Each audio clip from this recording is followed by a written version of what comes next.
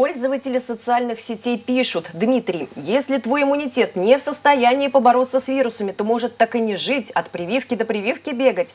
Евгения добавляет, вакцинировать лиц пенсионного возраста – это сократить его численность. Многие, кто привились, лежат теперь в онкологии.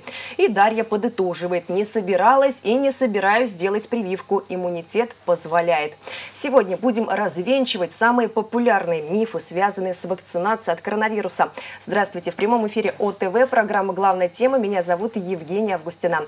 В нашей студии главный врач Одинцовской областной больницы Андрей Васильевич Фадеев, заместитель начальника Одинцовского территориального управления Роспотребнадзора по Московской области Анастасия Васильевна Чеберева и заместитель главы администрации округа Олег Васильевич Дмитриев. Здравствуйте. Здравствуйте. Добрый А я хочу напомнить нашим телезрителям, что они могут звонить к нам в студию по телефону прямого эфира 8 495 508 86 84. Делитесь э, вашим мнением, как вы относитесь к вакцинации, а мы попробуем вас убедить сделать прививку. А может быть, вы готовы поделиться с нами вашим положительным опытом. Анастасия Васильевна, первый вопрос, наверное, к вам. Вчера Сергей Собянин объявил, что в Москве ситуация, к сожалению, э, стала немножко ухудшаться. Что в Одинцовском округе? Ну, начнем, наверное, с Московской области. На протяжении последних четырех недель не снижается рост заболеваемости новой коронавирусной инфекции. В Одинцовском городском округе идет э, рост числа случаев новых э, подтвержденных коронавирусной инфекции даже выше средних областных показателей. Ну, я так понимаю, что это, наверное, такое сезонное явление. Или не совсем? Или мы бдительность потеряли? Ну, я думаю, что, наверное, снижена бдительность и сезонность, э, все сразу. А я напоминаю, что мы работаем в прямом эфире 8 495 508 86 84. Здравствуйте. Алло. Алло, да, Здравствуйте, как вас зовут? Представьтесь, пожалуйста. А, меня зовут Лариса. Лариса, очень приятно. Задавайте ваш вопрос. Вы знаете, у меня такой вопрос. Скажите, пожалуйста, а сколько, какое количество пунктов вакцинации открыто на территории Одинцовского городского округа? И где можно ознакомиться с данной информацией? Лариса, а вы уже э, вы собираетесь сделать прививку, правильно я понимаю? Да, я хотела бы. Почему решили вакцинироваться? Ну, потому что я понимаю, что нужно себя обезопасить, а если куда-то еще выехать, ну, конечно, нужно сделать прививку. Спасибо большое за вопросы. Ваше мнение, Лариса, 8 495 508 86 84. Звоните. Кто ответит? Олег Васильевич. Да, наверное, я. Еще раз добрый вечер. А, на сегодняшний день а, в Одинцовском городском округе работают 23 пункта вакцинации. А, Причем с 24 апреля в стадии готовности финальной еще три откроется. То есть после 24 апреля будет работать 26 э, пунктов вакцинации. 16 из них работают в амбулаторном поликлиническом звене, 6 это торговые центры и один это на привокзальной площади Голицына передвижной центр ФАП.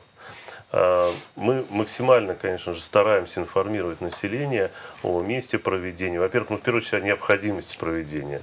То есть за последнее время порядка 140 публикаций в социальных сетях вышло в постах а, и главы округа Андрея Робертовича Иванова, замов, соответствующих профильных э, служб на Одинцовской областной больнице.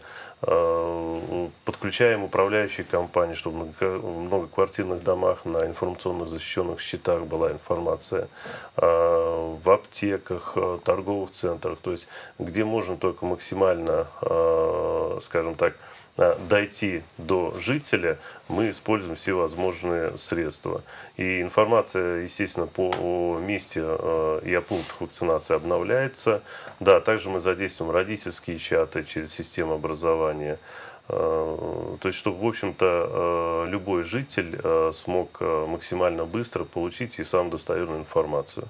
Есть, а как выбираются локации для пунктов вакцинации? И режим их работы каким образом устанавливать? А, ну, вы знаете, локация, кстати, я не упомянул, допустим, клуб активного долголетия, да, а, куда достаточно э, с большим желанием, с удовольствием идут наши э, жители пенсионного возраста. Видели своими глазами, готовы подтвердить. Да, там более 150 так. уже э, провакцинировано, причем в общем-то, клубы были по постановлению закрыты, и работа началась только буквально не так давно, там пару месяцев мы а, работаем в клубах активного долголетия.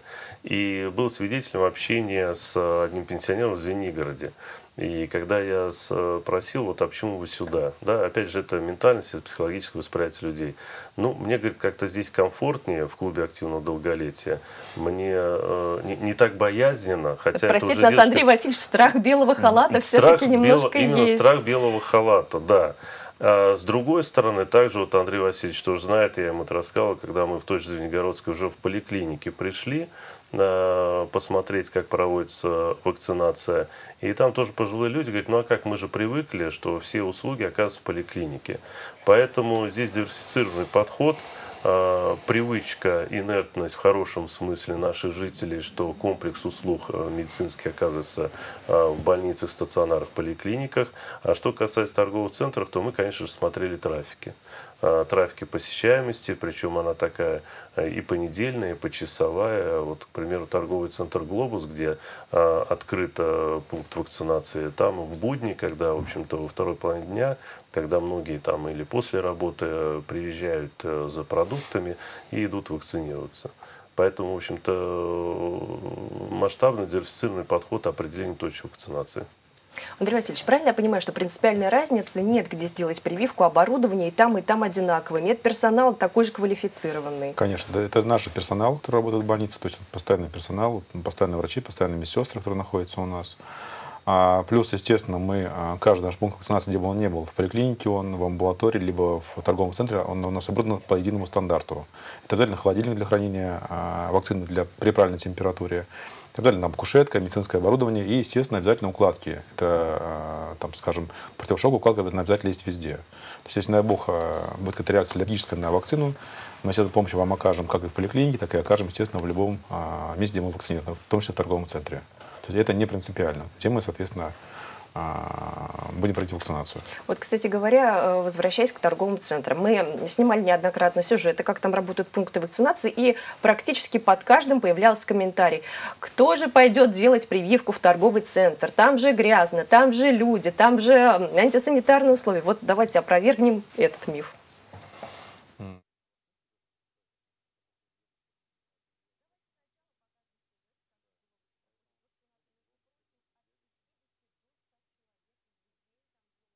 Вот давайте посмотрим, как все проходит, а потом прокомментируем. Любови Афанасьевне 65. Она пришла вакцинироваться от коронавируса в мобильный пункт, расположенный в Одинцовском гипермаркете «Глобус». В ее окружении уже есть переболевшие, которые тяжело перенесли эту коварную инфекцию. Поэтому при первой возможности женщина решила привиться. Положительно, очень довольна, конечно, о чем там говорить. Да, все вакцинируемся и на предприятии на моем люди стараются проводить это мероприятие. По признанию медиков, большинство их пациентов как раз люди старшего возраста, хотя и молодежь тоже приходит. Волонтеры помогут сделать ксерокопию документов и предоставят анкету для заполнения, где пациент сможет указать свои хронические заболевания и даст добровольное согласие на вакцинацию. В кабинете первичного осмотра врач измерит температуру тела и уровень сатурации, насыщение легких кислородом. Если нет противопоказаний, выдаст допуск на прививку. После прививки категорически запрещается употреблять алкоголь, запрещается мочить прививку. В течение трех дней пациентам рекомендуется следить за со своим состоянием, за температурой тела. Соответственно, если у пациента возникают какие-то э, воспалительные процессы, пациенту рекомендуется обратиться в поликлинику по месту жительства. Вакцинация в мобильном пункте, который открылся 6 февраля, проходит в штатном режиме с 13 до 19.00. Ежедневно там прививают от 50 до 100 человек в возрасте от 18 лет. Для этого необходим лишь паспорт, СНИЛС и полис обязательного медицинского страхования.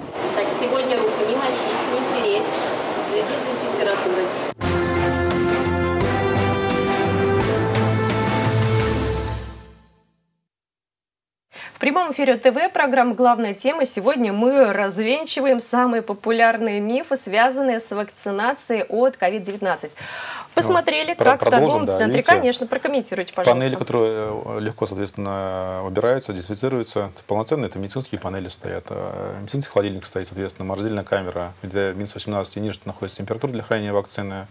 А, Одетый персонал а, в униформе, естественно, соответственно, и э, одноразовые шприцы, все, естественно, все это остальное. Перчатки, маски, да, как это все в полном видели. объеме. Соответственно, разница большой, это поликлиника, либо торговый центр, сейчас уже нет. Соответственно, мы условия в торговых центрах, благодаря а, главе администрации нашей, соответственно, сделали такие же полноценные, как в поликлинике. Бояться абсолютно нечего. Нет, это безо- безопасно. И почему торговый центр удобно? Потому что ты идешь за продуктами, параллельно получил, э, скажем, услугу вакцинации.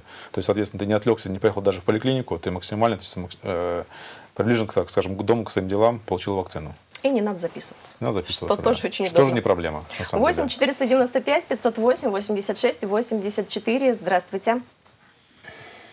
Здравствуйте. Алло, мы вас слушаем. Как вас зовут? Пред- да. Представьтесь, пожалуйста. Галина. Галина, очень приятно. А, Задавайте ваш вопрос. Скажите, пожалуйста, как записаться на прививку в Одинцовском округе? Галина, а вы решили вакцинироваться? Да. Почему? Ну, страшно, хочется быть здоровой и не болеть, не заразить своих близких, родных. Спасибо вам большое, Галина, за вопрос. А, Кто прокомментирует? Да, давайте. Я, наверное. Готовы да. все ответить? Да, ну мы работаем как одна команда, да, работаем на вакцинацию как одна команда сейчас в нашем городском округе. Что касается, как записаться, значит, самый простой способ – это по телефону 122, такой прямой короткий номер, а, скажешь, где вы находитесь, это единый а, колл-центр губернатора, и может быть записаться, соответственно, в ближайшую к вам поликлинику, амбулаторию, там, где проходит а, запись под вакцинацию. Сейчас мы работаем день в день, соответственно, то есть можно записаться, там, допустим, на завтра, либо на сегодня, там, наверное, ну, да, уже на завтра записаться можно будет и получить, соответственно, прививку. Второе – это госуслуги, естественно, также через личный кабинет записаться. А, В ЕМИАСе видны будут наши все кабинеты, также в амбулаториях и в поликлиниках тоже можно будет записаться. Ну и по колл-центру губернатора через телефон 8 800, это который 550 50 30, также можно записаться на прививку, как обычно, как вы записываете там, к терапевту, к э, любому другому специалисту. Ну и, естественно, прийти э, в поликлинику, подойти в регистратуру, вас проводят, у нас обязательно есть э, кабинет, где есть свободный врач, который, который может быть прийти и день в день, соответственно, услугу получить. А вот кто, по мнению специалистов, ну то есть вас, должен привиться в первую очередь? А, Конечно, врачи. То есть мы сейчас максимально проводим работу по врачам. Бойцы естественно, нужны. да, потому что обязательно врачи, если мы тем более контактируем. И в первую волну, вторую волну, конечно, у нас были, кто переболел, и переболел, переболел серьезно, поэтому, конечно, мы их вакцинируем, смотрим обязательно на уровень антител, и при их снижении, естественно, вакцинируем. А это, конечно же, учителя обязательно, потому Да, что то же самое. состав, то есть все группы Больш- риска, которые общаются с, с большим людьми. количеством людей. Да. Полиция обязательно, то есть именно кто, через кого проходит большое количество людей. Поэтому даже те, те же самые консьержки в подъездах, там, я не знаю, управляющие компании, те же самые, знаю, дворники, мне кажется. Это все, кто, То кто связан. система ЖКХ. Да, Да. но я хотела бы добавить, у нас теперь Минздрав Российской Федерации включил в национальный календарь прививок вакцинацию от ковид, и там есть три уровня э, групп людей, которые должны прививаться. К первому уровню относятся лица с хроническими заболеваниями, лица старше 60 лет, правильно сказал Андрей Васильевич, это сотрудники образовательных учреждений, медицинские сотрудники, сотрудники социальной сферы и лица, находящиеся на круглосуточном пребывании в социальных учреждениях. Но э, ко второй категории относятся военнослужащие, волонтеры, э, сотрудники сферы энергетики и транспорта. Ну и к третьей категории это уже государственные гра- гражданские, государственные э, муниципальные гражданские служащие, э, учащиеся колледжей и вузов старше 18 лет и лица, подлежащие призыву на воинскую службу. Ну, вот следующая ситуация будет фантастическая. Ну, предположим, люди все-таки интересуются. Вот человек идеально соблюдает масочный режим, меняет маску каждые два часа, без маски никуда не выходит, моет руки, надевает перчатки, антисептик у него всегда с собой. Может ли он сказать, что я и так надежно защищен, поэтому мне не обязательно вакцинироваться? Или все-таки это снижает риск заболеть, но не настолько, чтобы отказываться от вакцинации? Ну, я могу сказать, что при проведении эпидемиологических расследований мы собираем сведения о заболевших. Очень часто бывает так, что человек находился дома, э, соблюдал там социальную дистанцию, обязательно масочный режим, э, все продукты, которые заносились домой в пакетах, пакеты протирались, но все равно Да, всё равно человек заболевал, да. Да. Поэтому, естественно, вакцинация – это лучший выход из положения, это искусственный иммунитет, и человек будет спокойно себя чувствовать, защищенным и так далее. Олег Васильевич, наверное, следующий вопрос задам вам. Ну, мы тоже вакцинировались, ни для кого не секрет, и сейчас телезрители в этом еще раз убедятся. И когда мы рассказывали, что вот мы на самом деле привились, нам теперь бояться нечего. И следующая фраза, которую мы слышим, ой, да вас заставили. Могут ли кого-нибудь заставить вакцинироваться? Нет, конечно же, мы никого не заставляем. А, да, есть а, определенная а, ответственность, да, как на нас, как на Э, органах местного самоуправления, на здравоохранение как э, инструментах э, в хорошем смысле этого слова. А на нас ответственность, чтобы мы до каждого жителя донесли в первую очередь необходимость вакцинации. Это просветительская такая да. работа. А вторая э, задача, вторая история, это чтобы создать максимально удобные а, максимально комфортные условия вместе с а, органами здравоохранения Одинцовской областной больницы, поликлиническим звеном, условия для вакцинирования. Ну и, конечно же, помимо того, что мы делали с самого начала пандемии, это против, профилактические, противоэпидемиологические мероприятия. А, как было уже сказано, э, в первую очередь там, где целевые аудитории входят в группу риска. Это образование, это социальная сфера, это транспорт, это многоквартирные дома, это система ЖКХ, то есть это и обработка, дезинфекция, и соблюдение утреннего фильтра в образовательных учреждениях.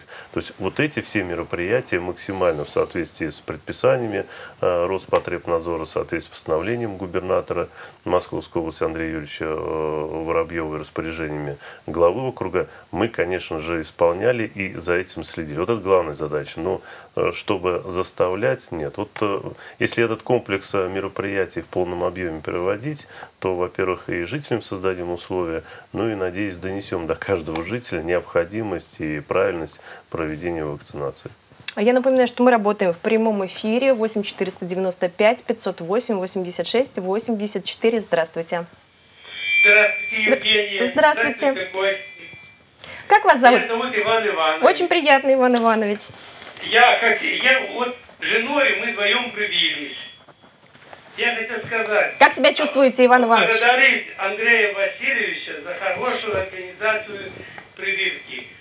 Вот мы прививали, вот 2 числа позвонили на, на горячую линию, записались, третья прививка, 24-го. Прекрасно все организовано, никаких осложнений. 23-го привился, в лес сходил, погулял большим воздухом. Два дня прошло с палочками в лес, 24-го с палочками. Никаких противопоказаний, противопоказаний. Призывая Одинцовцу, не сидите дома, идите, прививайте, пока бесплатно. А то потом поздно будет, когда будете лежать в больнице, и в тяжелом состоянии, когда вас будет переворачивать, вот это подумайте, я вот видел, по телевизору показывали, как люди тяжело к пожилому возрасту носили. У меня заболеваний куча, но прошло все гладко. Спасибо вам большое. Иван Иванович, и вам спасибо большое за ваш отзыв. Будьте как Иван Иванович, прививайтесь. Главного врача я просто обнимаю вас целую за это. За такое хорошее мероприятие. Вторая поликлиника чудесно организована. Спасибо большое. Спасибо. Прививайтесь и будьте как Иван Иванович, ходить с палочками в лес, свежий воздух. Это тоже отличная профилактика многих заболеваний. И вот, кстати говоря, Иван Иванович, сам того не зная, подвел нас к следующему сюжету. Ну, во-первых, хочу пояснить, нас прививаться никто не заставлял, мы решили совершенно добровольно. А почему? Потому что мы снимали в инфекционной реанимации. Зрелище, на самом деле, не для слабонервных и очень страшно. И очень не хочется оказаться там. Как отреагирует организм на встречу с инфекцией, мы предугадать не можем. Поэтому привились. Давайте вспомним, как это было.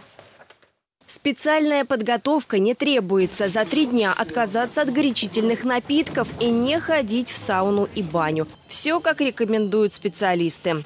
Это только у матросов нет вопросов. У врача к желающему привиться есть и не один. Кроме того, терапевт обязательно померяет температуру, давление и уровень кислорода в крови. Через три недели ровно приходите на повторную вакцинацию, то есть второй этап. Далее антитела формируются через 21 день после второй прививки. Значит, вы сможете сдать на антитела и убедиться в том, что они у вас образовались. А теперь все смело на первую вакцинацию. Да. Телевизионщики, как и медики, всегда на передовой. Удаленка не про нас. Первая волна коронавируса обошла редакцию ОТВ стороной. Все-таки маски, перчатки и антисептик свою роль сыграли. Во вторую контакта с COVID-19 избежать не удалось. Поэтому, долго не раздумывая, те, кто не переболел, решили привиться. Мы всегда э, в движении, мы посещаем общественные места и, безусловно, здоровье для нас на первом месте. Поэтому мы за вакцинацию. Э, К нам присоединились к редакции и сотрудники телерадиокомпании «Одинцова». Это наши монтажники, это строители. Но это, опять же, все те люди, которые очень много общаются с, э, с другими людьми. Сегодня мы будем вас прививать против новой коронавирусной инфекции. Вакцина называется Гамковид-ВАК. Первый, первый компонент, то есть через 21 день придете за вторым повторно. Непривычно быть героиней собственного сюжета.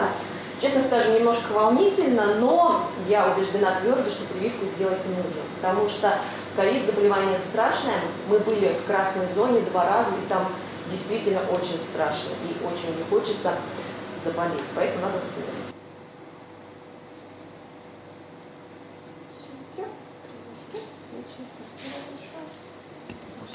Ну вот и все. Первый компонент вакцины «Спутник Ви» мне ввели. Уверена, что все будет хорошо. У Айки очень, правда, легкая рука. Всем советую. После прививки может ненадолго подняться температура выше 38. Советуют сбить любым жаропонижающим. Если место укола начнет чесаться, можно принять антигистаминный препарат. Кстати, сразу после введения вакцины отправиться домой не получится. Медики советуют оставаться в поликлинике еще около получаса. Чувствую себя нормально, так же, как до прививки, никаких изменений. Великолепно себя чувствую, как будто ничего не делал. Очень Голова не кружится, ничего не происходит. Нет, голова не кружится, ничего не происходит. Очень легкая рука у медсестры. А через полчаса можно идти домой. Физическую нагрузку умерить, горячительное три дня не пить. И обязательно через 21 день запланировать еще один визит в поликлинику для введения второго компонента вакцины «Спутник Ви».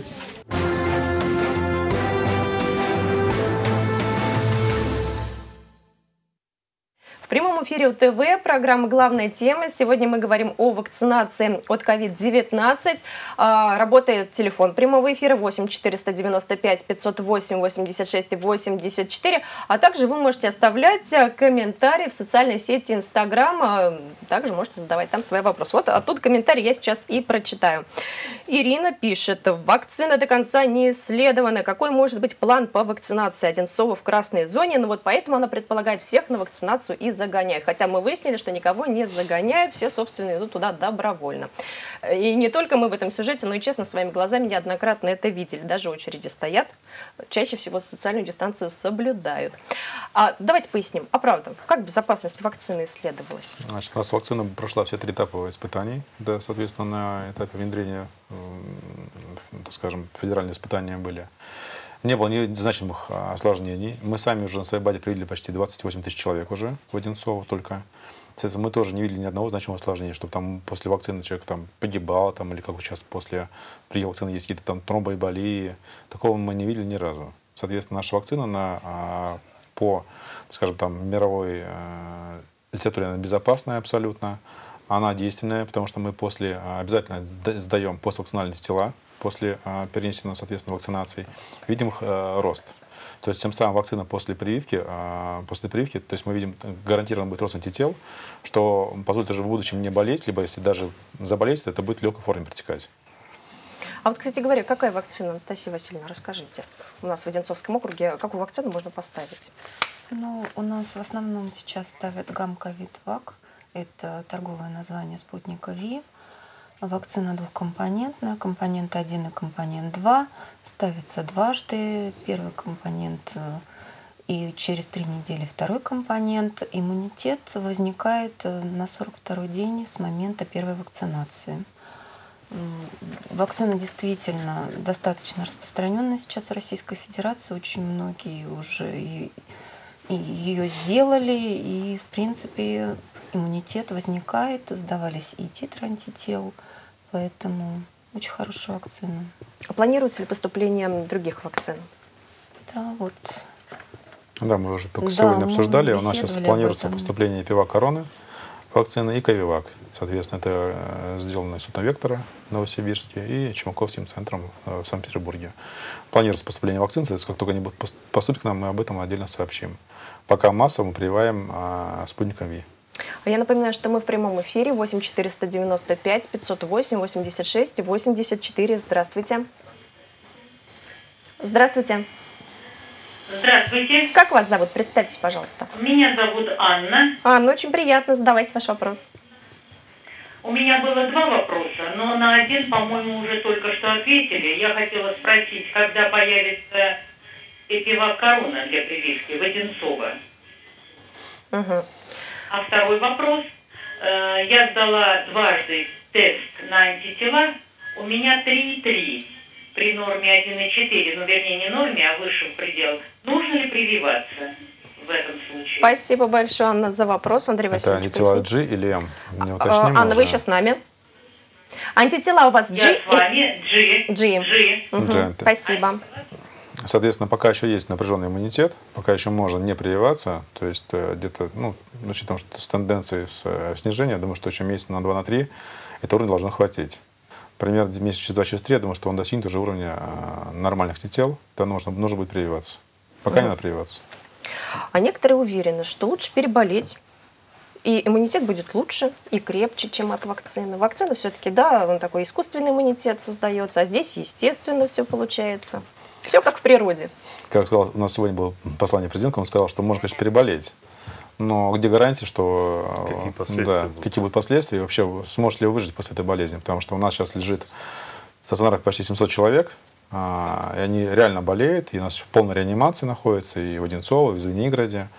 И поэтому, конечно, переболеть можно, но это будет огромный риск, и, конечно, с риском вакцинации он несопоставим просто. Во-вторых, мы а, сейчас будем заниматься долгой реабилитацией больных после а, ковида, которые перенесли КТ-2, КТ-3, КТ-4, которые сейчас до сих пор не могут адекватно ходить даже по квартире, то есть пользуются именно кислородными ингаляторами там, и, так, и так далее. Поэтому, конечно, переболеть можно рискнуть. Но это только на собственный Гарантий риск. никаких. Никаких, да. Ну, кто может дать гарантии, потому что у нас э, болеют абсолютно все, и молодые, и пожилые люди. Конечно, если человек пожилой, то тут, тут абсолютно не нужно рисковать. 160 плюс надо прививаться однозначно. И чем быстрее, тем лучше. Там еще молодые еще могут там как-то поиграть, потому что молодые проходят все-таки в силу иммунитета по-другому немножко, и легче проходит, и э, с меньшими осложнениями. Естественно, если нет там заболеваний, там, гипертонии, диабета, э, допустим, хронической почечной недостаточности, то протекает более-менее нормально. Но если 60 плюс, еще какие-то есть осложненные заболевания, как правило, то, конечно, лучше прививаться. Но при этом я хочу сказать, мы когда снимали в реанимации 45-й больницы, большинство пациентов были не из группы риска. То есть все-таки расслабляться, наверное, да, не, Не, стоит нет, никому, конечно. как вы только Да, что сказали, а- это статистика. А я хочу сказать, что на не врет. собственном примере я тоже, не имея хронических заболеваний, в октябре перенесла коронавирусную инфекцию, КТ-2, 60% поражения. И если бы на тот момент был, была вакцина, я бы, конечно, лучше привилась. Потому что никто не ожидал, что заболевание будет настолько тяжело протекать. Вот она информация из первых уст. 8 495 508 86 84. Здравствуйте. Здравствуйте. Здравствуйте, как вас зовут? Меня зовут Надежда Яковлевна. Здравствуйте, Надежда Яковлевна. Задавайте ваш вопрос. Мне э, 67 лет полных. Я сделала две прививки уже. Вот. Большое спасибо всем. Но у меня такой вопрос. Мгм. У меня муж страдает сахарным диабетом. Он инсулинозависимый человек. Он никуда не ходит. И вот скажите, пожалуйста, можно ли дома привить, э, привить приехать его? Потому что все-таки я хожу и по магазинам, говорят, что э, я даже вот, несмотря на то, что я сделала прививку, я все равно могу заболеть. И не дай бог я принесу это домой. Я очень за него переживаю. Спасибо большое, Надежда Яковлевна, за ваш вопрос. Вопрос очень хороший. Андрей Васильевич, вы поясните. Да, а у нас э, есть такая возможность, мы можем прививать на дому, мы уже делали, именно кто, э, скажем, маломобильный, кто не может выходить из дома в силу тяжести состояния, мы, естественно, можем прививать на дому.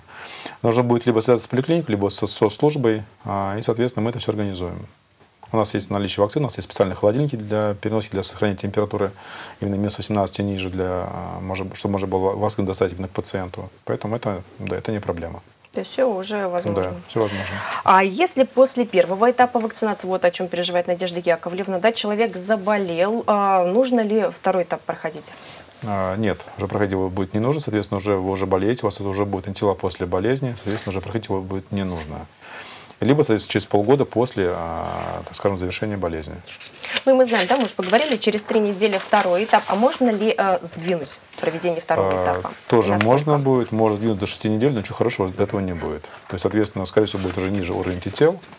И если 6 недель и больше, то лучше будет повторно перепрививаться через полгода.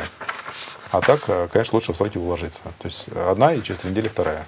А я хочу напомнить нашим телезрителям, что в самом начале программы я зачитала комментарий о том, что пожилым людям прививка якобы противопоказана. Она ухудшает самочувствие, и многие даже заболевают онкологическими заболеваниями. А героине нашего следующего сюжета Зои Павловне Гриценко 79 лет. И мы узнали, как сейчас чувствует себя жительница деревни Барки. У меня документ, сертификат о вакцинации против новой коронавирусной инфекции COVID-19. Подарок к Новому году. Первый компонент вакцины «Спутник Ви» 79-летняя Зоя Гриценко получила накануне праздника 30 декабря. Второй ровно через 21 день на крещение 19 января. На вакцинацию записалась, не раздумывая, в числе первых. Чувствую себя прекрасно, вообще никаких, никаких последствий не было. Вот даже, даже боли не было от укола. Вот как некоторые жаловались, я по телевизору много смотрела. Ничего не было, абсолютно все тихо, спокойно, как говорится. Вообще ничего не почувствовала. Выход из дома в случае крайней необходимости. Маски и перчатки строго обязательны, как и постоянное мытье рук. Но даже соблюдение этих мер не дает уверенности в том, что болезнь обойдет стороной. В отличие от прививки, иммунитет к коронавирусу формируется через три недели после введения второго компонента вакцины. Сказали, значит, 21 день еще надо беречься. Сделать прививку от коронавируса могут россияне от 18 и старше. Первым компонентом вакцины «Спутник Ви» уже привились более 2000 жителей Одинцовского округа. Для того, чтобы привиться, пациенту в первую очередь нужно записаться через личный кабинет а, к нам в кабинет вакцины профилактики прийти в назначенный день, время, посетить врача-терапевта, потом пройти вакцинацию и через 21 день обязательно подойти на вторую. Все пациенты строго по записи. Вход в кабинет вакцины профилактики только с одобрения терапевта. Специальной подготовки не требуется.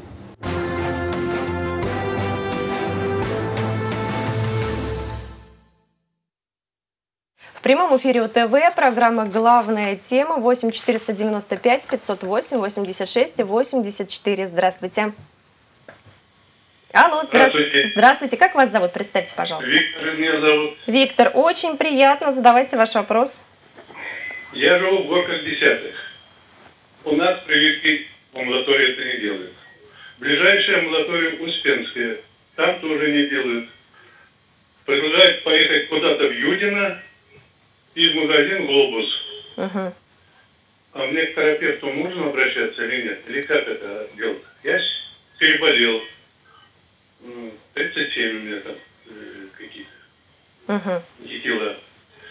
Ну, переболел я где-то в ноябре, декабре. И вот. Скажите, пожалуйста. Захотелось привиться. Все, поняли ваш вопрос, Виктор. Спасибо большое, Андрей Васильевич. Вам? Настя, если переболеть, то ноябрь, ноябрь-декабрь, то при вас пока еще не надо. Тем более 37 уровень антител. Я думаю, что пока не надо, минимум полгода. То есть это июнь, июль, раньше не надо даже об этом думать. А, И лучше также сдать, сдать на антитела, сдать анализ ФА и, соответственно, после этого принять решение. По поводу вакцинации, мы сейчас планируем разворачивать уже вот Корка 10, Успенск, то есть во всех больших амбулаториях тоже, соответственно, будем у нас пункты вакцинации будут работать по графику. Сейчас ближайшее в Перхушково вам можно доехать, э, в наш филиал, там в поликлинике мы прививаем, либо, соответственно, Глобус, также находится в Юдино, там можно привиться. Либо, соответственно, доехать уже до Одинцова, там, до первой поликлиники. А, Соответственно, ну, я думаю, что этому учить пока прививаться не надо. К терапевту тоже, да, к терапевту тоже э, идти сейчас не нужно по поводу прививки, но если там надо привиться кто-то из его, там, может быть, там, а, близких людей, то это просто приходит в поликлинику, идет к терапевту и дальше сразу же в тот же день прививается. То есть специально записываться к терапевту для, для прививки, а для осмотра перед прививкой не надо. То есть это просто запись на вакцинацию. Да, это запись на вакцинацию, да. Можно сделать Это прививку кабинет. таким образом. Вот, кстати говоря, еще один популярный комментарий. А как это так? Они сдают прививку, а на антитела не сдавали. Ведь надо же анализ обязательно сдавать. Э, Не обязательно сдавать анализ. Если вы переболели а, более полугода назад, достоверно известно, то можно смело прививаться. Если даже осталось какое-то там а, минимальное количество антител, то хуже от этого точно не будет. Это будет только положительная реакция. То есть, соответственно, у вас после прививки они будут выше. И все. То есть это совершенно безопасно.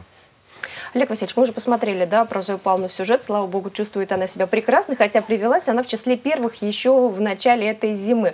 А какую работу проводите со старшим поколением, вот кроме клубов активного долголетия? Что еще происходит? Недавно мы снимали в ДК «Полет». Очень благодарили пожилые люди, что там организовали пункт вакцинации, мне пришлось никуда Ну, ехать. да, мы э, организовывали, во-первых, э, встречи э, изначально такого информационного порядка вместе с Андреем Васильевичем, другими э, врачами, больше разъяснительные для э, общественных организаций и для лиц пенсионного возраста. Да? А Потом все-таки здесь уже звучало э, в рамках передачи, что действительно у людей много различного рода фобий, э, кривотолков, мифов. А, Мы проводили опрос, телефонный опрос. А, Порядка 30 тысяч э, жителей Одинцовского округа э, категории 60 плюс обзвонили. И именно в соответствии с чек-листом, э, зная э, наиболее популярные э, мифы, кривотолки и фобии, э, мы э, старались в телефонном разговоре э, с сотрудниками администрации, социальных служб разъяснить и также получить обратную связь. Действительно ли среди жителей это имеет место быть? И, конечно же, в этих телефонных разговорах, э, звонках э, мы разъясняли, во-первых, необходимость вакцинации, ну и главное, что очень важно пожилым людям, где ближайшие места вакцинации. То есть практически вот по адресно узнавали, где, ну, а и так знали, когда э, звонили, где находится территориально, где проживает житель, и давали э, ближайшие точки, куда удобно прийти по вакцинации. И, в общем-то, это тоже возымело свой эффект. А, После встречи, кстати, в администрации округа а, с представителями клуба активного долголетия, различных общественных организаций а, пенсионного возраста, мы совместно с Одинцовской областной больницей на следующий день буквально а, провели День здоровья, так называемый. Помимо вакцинации еще предложили консультации терапевта. Андрей Васильевич вел консультацию офтальмолога. И заметили, практически 80% пришедших, хотя локация была в волейбольном центре, 80% пришедших было как раз после нашего живого общения. Поэтому это имеет эффект, и именно имеет эффект, когда а, не просто мы приходим как сотрудники администрации, а еще совместно с а, медицинскими работниками, с представителями Роспотребнадзора, где, в общем-то, достаточно профессионально а, из первых уст э, развенчиваются все возможные мифы. Ну да, одно дело читать страшилки в интернете, а другое дело общаться с глазу на глаз с Да, и специалистом. задавать вопросы. 8 495 508 86 84. Здравствуйте. А, Здравствуйте. Здравствуйте, как вас зовут? Инна. Инна, очень приятно. Задавайте ваш вопрос. У меня такой вопрос. Добрый вечер. А, С началом дачного сезона начинается выезд дачников э, за город на участки. Запланированы ли встречи с жителями дачных поселков, садоводческих товариществ? Вот такой интересный вопрос. Хотят люди информацию получать из первых уст, из проверенных источников информации, а не из э, комментариев в социальных сетях. Ну, вот что называется, да, совсем ближайшая свежая информация э, ответ на вопрос. А У нас 23 апреля, в эту пятницу, в 14.00, запланировано в администрации, в актовом зале, а, встреча как раз с председателями а, садовых товариществ, а, с представителями коттеджных поселков, а, СНТ, на предмет как раз того, чтобы а, получить обратную связь. Ну, во-первых, а, рассказать о необходимости вакцинации. Также на этой встрече будут приглашены сотрудники и работники здравоохранения. Там Андрей Васильевич всегда откликается, присылает своих специалистов, где будут, повторюсь, разъяснены э, вопросы о необходимости вакцинирования, да, ответы на всевозможные а, вопросы, которые постоянно в сетях. Ну и плюс мы хотим, в общем-то, э, получить от представителей СНТ, э, товарищ Садовых, пожелания, где, в каких местах локации наиболее удобно развернуть мобильные пункты вакцинации чтобы, в общем-то, мы точно и эффективно решали задачу привлечения и вакцинирования желающих всех, те, которые изъявят э, желание. Поэтому, да, это вот встреча ближайшая, 23 апреля в 2 часа будет в администрации в актовом зале. Да. Ну и, наверное, самый главный вопрос сегодняшней программы, для которого все организовалось. Правильно ли я понимаю, что пандемию мы победим тогда, когда появится коллективный иммунитет? А вот когда он появится?